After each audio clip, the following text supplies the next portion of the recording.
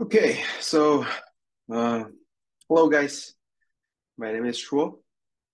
I am a software engineer from Databricks, and today my topic is uh, experience with hard multi-tenancy in Kubernetes using Kata container. Um, so starting from some introduction of who we are. So Databricks provides a unified and open platform for data and analytics.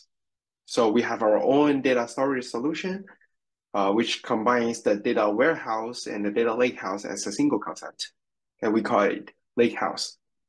And meanwhile, many of our services are built on top of Spark for data analyzing, and we also have our own machine learning products for AI and data model training. So in our classic infrastructure model, we separate our own services and customers' infrastructure. infrastructure. So we integrate with cloud storage, compute, and security in our customer's cloud account. And we manage and deploy those cloud infrastructures on customers' behalf. And also, we always provide services on top of multiple cloud providers, such as like AWS, Azure, or, or GCP, for example. So that's the traditional way that we provide our services. And recently, one of our revolutionary aspects of our products is moving our services to a serverless mode. So what is serverless mode?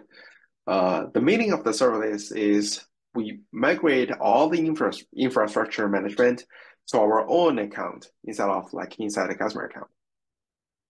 So that it eliminates the overheads to manage those cloud providers' assets from the customer account. Meanwhile, there are a lot of benefits for serverless, such as the service provisioning time will be super fast and the service will be super elastic. So with serverless, we usually can provide our Spark cluster to customer in less than five seconds. Also, since we take the ownership of the infra management, we will have some more flexibility to play with it and lower customers' infrastructure cost. So with the serverless mode, we want to use Kubernetes as our infrastructure due to its great portability and its extensibility for containerized workloads. And the Kubernetes is cloud agnostic and it has a rapid growing ecosystem. So we mark it as our number one candidate. Each customer's workloads will be a single pod or a set of pods, basically a deployment or a daemon set in um, you know Kubernetes cluster. However, like one of the main difference with traditional Kubernetes cluster is we requires the hard multi-tenancy. So what is hard multi-tenancy? It means that basically the tenants within a single Kubernetes cluster might come from different companies and they do not trust each other. And also the infra infrastructure do not trust the tenant. So in this case, isolation of the data plane and the control plane are both very critical. And meanwhile, Databricks also deploys our own service into the same cluster. So we differentiate the service into two parts. The services deployed by our team, our company is a first-party services, which is in Trusted Group. And any pods that is running customers' workloads are untrusted. So the default security boundary between each pods are the container boundary, basically in the traditional Kubernetes environments. And the tricky part is in our environments, customer can run arbitrary code, like whatever they want. One example is like the recent pro products that we recently released is our machine learning products, where a customer can training their own machine learning models in a shared environments with other customers. And Databricks has no idea like what customer is doing. So in this case, the container boundary might not be good enough because it has a pretty large attack surface and it's not safe for a hard multi-tenant environments.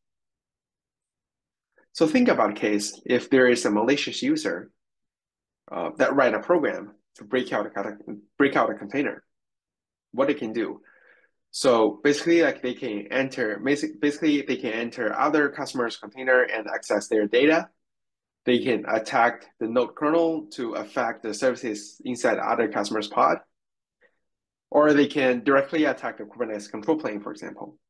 Or they can even like attack the Databricks trusted services. Basically, like after the container breakout, they can do whatever they want. As a result, we need to build additional security boundary around the traditional container and pods to ensure the hard multi-tenancy. So one of the solution is using a cloud provider provided services, for example, like the Fargate from AWS. However, it turns out that those services cannot 100% fit our requirements. For example, like some of our, Spark workloads requires to build a Spark cluster with multiple pods, right? And uh, each pod needs to connect to each other to serve as a single Spark cluster. So using the cloud provider services is not that flexible for us to build our own logic on top of it. As a result, we want to seek our own hard multi-tenancy solution on top of Kubernetes. So we do some exploration with multiple directions. And one of the direction that we explore to achieve this hard multi-tenancy solution is by using Kata container. So what is Kata container? The high-level description of Kata container is it is a secure container runtime with lightweight virtual machines that feel and perform like containers with the micro VM. It provides stronger workload isolation using hardware virtualization technology as a second layer of defense instead of like a traditional container boundary, which is based on a software solution. So the security advantage provided by Kata is obvious. It is provides a VM boundary instead of a container boundary. However, like one of the trade-off here is uh, when we use a Kata container, we require the cloud provider's VM has the capability for the virtualization. Basically, it means that we can create VMs inside cloud provider's node. As a result, not all the instance types from different cloud providers can support that.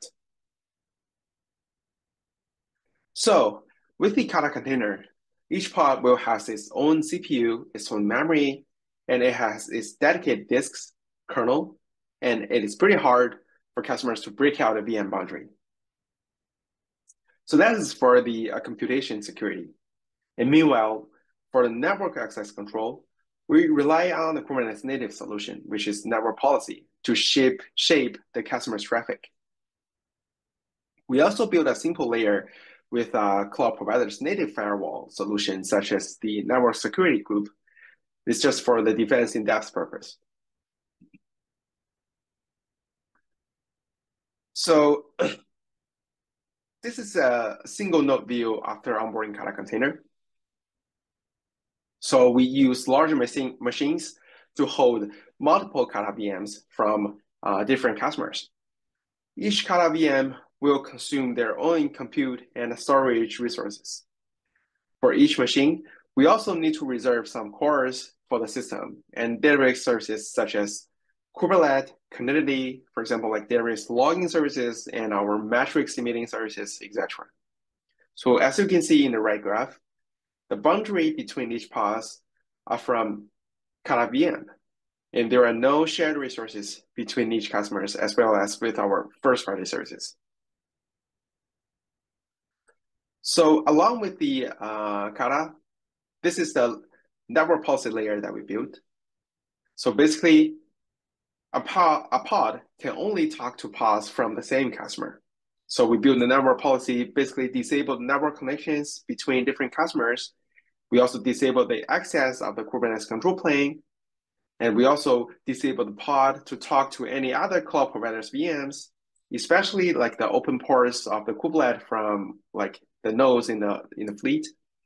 And we also only allow a one-way connection from our trusted services to the customer's pod. So one additional thing that I want to mention is Kata container makes the network policy more secure in multi-tenancy environments. So the way that CNI usually handles network policy is by translating the policy rules into either IP table rules or like the eBPF functions and apply those rules onto the host directly. However, like without Kata container, if a customer break out a container and earn the uh, host a root privilege, it would be pretty easy for them to modify the IP table rules and then bypass the network policy.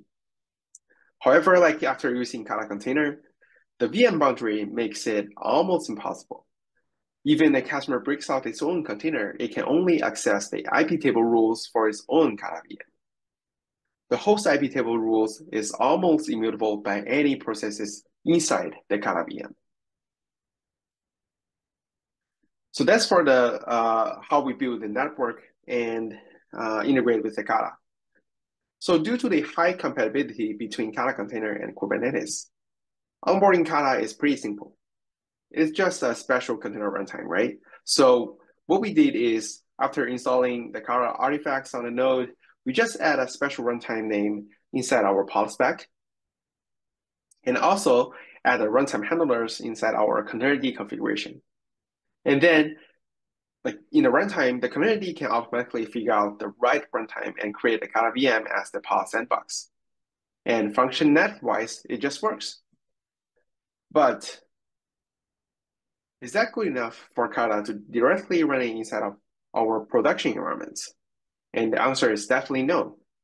I will talk about the main challenges that we explore during we explore the direction of the Kata container. Let's start from the biggest problem, which is the performance. So after onboarding vanilla Kata, we find out that our Spark workloads has 3x to 6x performance slowdown. This means that we definitely cannot directly use a vanilla Kata inside our production environments. So what is the reason that um, there's a performance problem? Why there are slowdown? So the nature of our Spark workloads are both compute intensive, memory intensive, and IO intensive. So by uh, after onboarding Kata, it introduced an additional virtualization layer, and it makes all of these aspects more complex. For example, our workload will run on another layer of virtual CPU instead of like the CPU on the host. When executing instructions, the CPU has to jump between Kata guest VM and the host VM. We, we call it VM exit. And it takes time. And also, we have to rely on the VirtIO protocol to provide our virtual block devices into Kata VM. So all of these factors will introduce additional overhead for both the computation and the IO path. So how do we solve this problem? Let's start from the storage performance tuning. So Spark requires a pretty fast disk for the IO intensive workloads. As a result, instead of like using a cloud provider's remote disk, we are leveraging the local SSD on each machine to support such space. So in our current pod spec, we have a PVC statement to ask Kubernetes to handle this special mount. So without Kata, the vanilla storage support for PV and PVC is just they mount that local SSD to a folder on the host namespace, and then bind mount this folder into the container namespace. But after using Kata, the default way to support such scenario is by using a component called VirtIOFS. So this component virtualizes a file system on the host and build a shared file system inside the Kata VM. As a result, any I.O. happens on either host or guest will be synced in real time. So this is similar to like bind mount uh, folder inside a container. However, like the performance is not that good because like during a single I.O., there are multiple context switches between host user and kernel space. And the I.O. packet will go through multiple file system layers. Like one layer is from the guest and uh, we have to go to go through another layer inside the host. So these facts will introduce additional latency uh, for every single I.O. And it also shrinks the total throughput. So here, the technology that we use to solve the problem is called SPDK. So uh, what is SPDK? So the full name is called uh, Storage Performance Development Kit.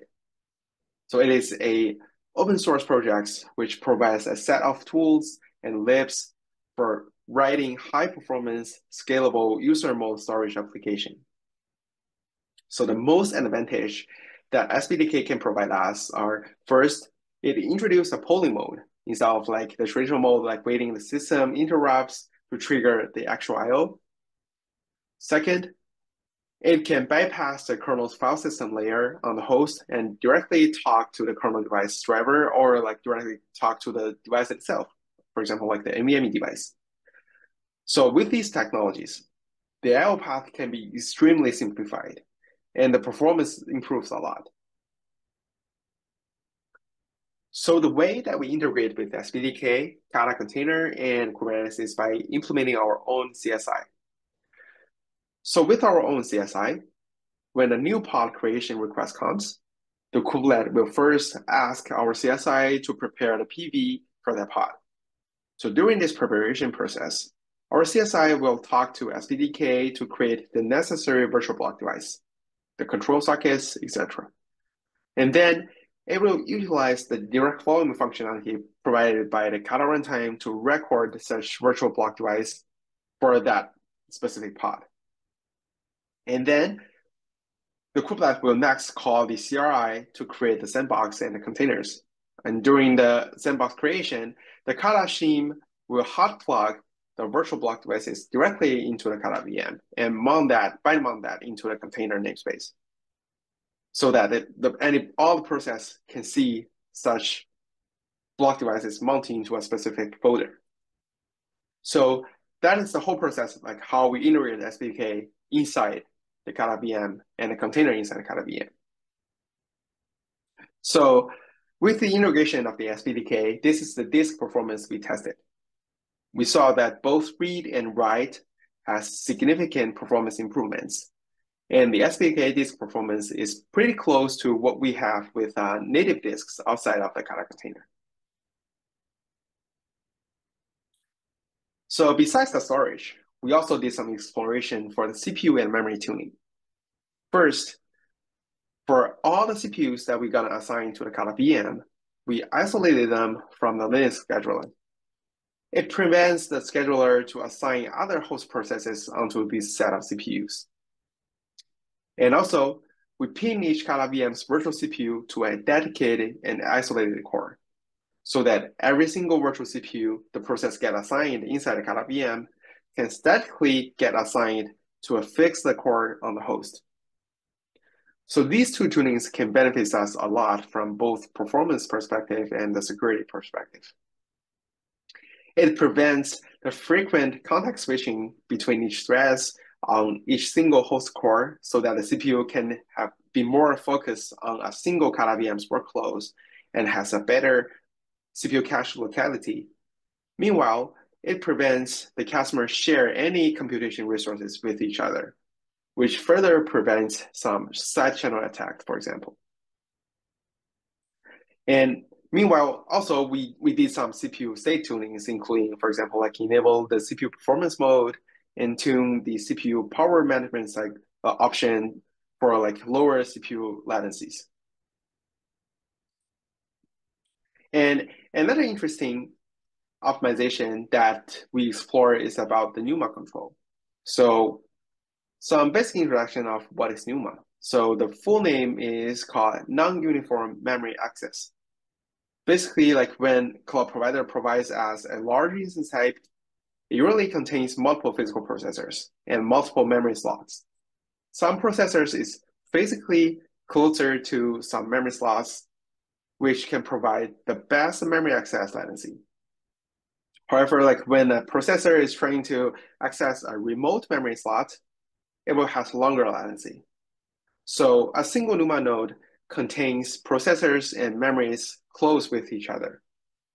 And with a large instance type or like the bare metal machines cloud, provided by the cloud provider, the node usually contains multiple NUMA nodes. As a result, like when we try to do what we try to do is to make sure that for every single VM, the CPU and memory resources that assigned to it comes from a single NUMA node. So in this case, the memory access latency will be short and consistent. And meanwhile, we are also trying to balance the load between different NUMA nodes on the same host. For example, like in this case, we saw that NUMA 0 has two VMs, but NUMA 1 has only one VM. And when there is a new VM, a Kata VM comes, we will make sure make sure the upcoming Kata VM falls into NUMA 1 to balance the load. So the way that we implement such scenarios by introducing an unknown services for physical resource management. The resource management services is responsible for bookkeeping the physical resource usage metadata. It will record which Kata VM is using which core and which NUMA's memory. Then every time the Kata runtime creates a new VM, it will first ask this service for a hint and the hint contains a set of cores that we want to ping to this Kata VM, as well as like, for example, the NUMA ID. And then the Kata runtime will use this hint to call the hypervisor with additional parameters. And the newly created Kata VM will consume the targeted resource that we specified. So for the NUMA control, we also explore some Kubernetes native solutions such as like CPU manager or like topology manager. But it turns out that they cannot meet all of our requirements. For example, like for the CPU manager, the CPU manager can specify like which kind of VM use which CPU sets by specifying inside the C group. However, it cannot pin each virtual CPU to a dedicated core. And also like the topology manager is not compatible with Kata container as well. So we finally like decide to implement our own services, unknown services, instead of like using a native solution. So with all the performance improvements that, that I introduced before, uh, we improve our workload's end-to-end performance from 3x to 6x slowdown to less than 5% slowdown. So this indicates that performance-wise, Kata is qualified to support our hard multi-tenancy infra infrastructure. So in our exploration of Kata container, we also identify some potential risks besides the performance. For example, like the noise neighbor problem. So inside a single node, there are still some resources that will be shared by multiple Kata VMs. For example, like the L3 cache, the memory bandwidth, and maybe like different partitions from the same disk or like the network bandwidth from the same NIC, etc. So when multiple Kata VM try to access these shared resources at the same time, it's possible that a resource contention will happen and it might cause a performance variation. So that's one of the potential risk.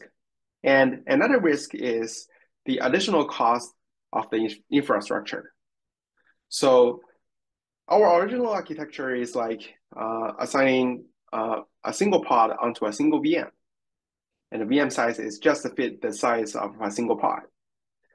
But after using Kata, we have to use large machines, the bare metal machines, and we have to allocate multiple uh, Kata VMs on top of a single machine. So the scheduler by default will balance the load across the node within the Kubernetes cluster. And as the time goes by, some pod will come and some pod, some pod will go. And um, the node cannot always be fully utilized. Like the graph I'm showing below, some of the node might have some fragmentations. And these fragmentations makes more infrastructure costs from uh, our like the SaaS company like us. So those are some concerns uh, and potential risks that we found during our exploration. And there might be some other problems. For example, like uh, when if we onboard a Kata container into AWS, we have to use the bare metal machine. And it turns out that the instance type capacity may not that large enough for the bare metal machine compared with uh, like the normal VM. And um, allocate additional, we, we, we also need to allocate additional resource in the node to cover the virtualization costs. For example, like after onboarding SPDK, uh, there are additional CPUs that will be used to busy polling the IOs, and we also need to allocate memories and CPUs for the hypervisors. And some of our product scenario is not well covered by the current Kata VM, such as like, what if we want to do uh, some machine learning uh, data training model with the GPU, we have to device pass do the device pass through for the GPU inside the Kata VM. So those scenario is not well supported currently in a uh, Kata upstream. So but what is the conclusion then? So the conclusion is the Kata container is a great project to support the hard multi-tenancy in Kubernetes. It provides the VM boundary inside of a container boundary and make the container, make the customer hard to break out a, break, break out a container. And by fine tuning the performance, Kata container can reach similar performance level to native container technology. However, on the other side, Kata container brings its own complexity. If we want to use it in production, some additional efforts is required to make the infrastructure as consistent performance and cost efficient. So that's all for today's share. And finally, I will do a um, short advertisement. So Databricks Serverless is now in public preview for both AWS and Azure. And we will short goes to GA. And welcome to shoot a try for our products, and it's super amazing. So that's it for today. Uh, thanks for attending the talk.